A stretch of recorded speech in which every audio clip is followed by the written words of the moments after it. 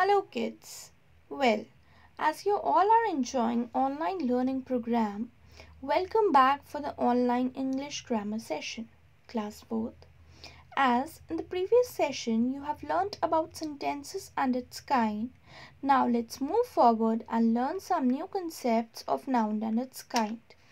Now kids, let me tell you once the topics that we'll cover when we learn this chapter. The very first one is concept of nouns. Then we have its use in various sentences.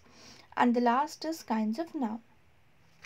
Now kids, I want to ask you one question. As soon as you get up from your bed, you observe many things around you. Like table, chair, bed, watch, or we can say that as you can see over here in this picture the bedroom almirah clock many things around you. Now when you move outside the environment around you also has so many things like trees mountains animals maybe a park outside your house and many more things like this. So kind kids we can classify these things in two parts. Let me tell you. The very first one is living things and the other one is non-living things. Now living things. Living things are those that grow and they have life. And when we talk about non-living things, non-living things, they do not grow. But can you tell me one thing? As we are talking about living things and non-living things, can you find out any one similarity? Can any one of you? Yes, let me tell you. One thing very common in the living and the non-living things. Or we can say that things that we observe around us. The common part is that they both have names. So that we can recognize a certain thing if we want to communicate about anything or if we want to learn any new thing, we should first know about its name. So kids, can we say that a name plays an important role to differentiate between various things and non-living things? Now, in English grammar, when we talk about grammar, we call these names as naming words or nouns. Nouns can be a name of a person, it can be a name of a place, it can be a name of a thing or an animal. So broadly we have classified nouns in four parts. Means nouns you can have a look over here in the definition. Noun is a name given to a person, place, animal or thing. Now, kids, let me explain you in detail about nouns. When we talk about noun as a person, you can have a look in this picture. When we talk about nouns as a person, it can be either a boy, a girl, a baby, a doctor, a mother, father, sister, daughter, nurse, and so on like this. And when we talk about noun as a place, you can look in this picture it can be a house, school, park, any building, beach, park, hospital, church, temple, mosque, etc. So on like this. Now animals. So many animals, you know wild animals and pet animals. So they can be classified under this category of nouns. Cat, dog, pig, lion.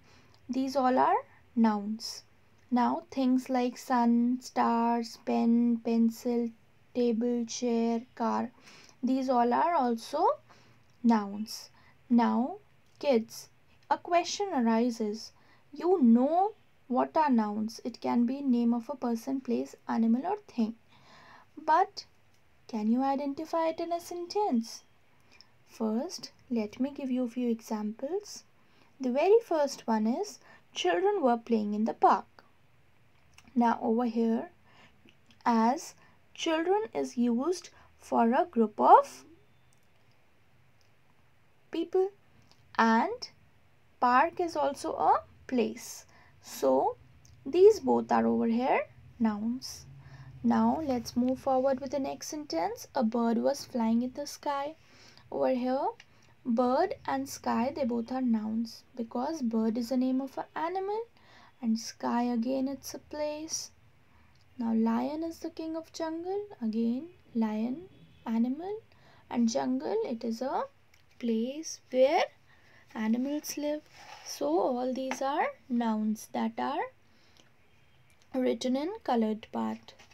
Now will you be able to do the exercise? Let's try and have a look for the exercise. Now underline the nouns in the following sentences. Now let me read out the sentences first for you. Varanasi is a religious state. Supriya is an intelligent girl. A frog is jumping near the pond. We will go to market on Sunday. Many stars were twinkling in the clear sky. Ganga is a holy river to worship. My father will come on Tuesday. We'll go to Delhi by car. Now these are eight sentences. What you have to do is you have to pick up nouns that is name of either a person, place, animal or thing. I think it's quite easy for you now. So let's me let me discuss first few sentences then you have to move forward yourself. Now Varanasi is a religious state. Over here Varanasi is a place and state is also a place. So these both are nouns. Now next sentence Supriya is an intelligent girl. Supriya and girl both are personal noun in these sentences. And third one a frog is jumping near the pond. As you know frog is an animal and pond is a place. So it is also noun. Now rest sentences. Try to solve it yourself and check your answers from the next page. In the next session, we'll move forward and learn about kinds of nouns. Till then, practice the concept of nouns.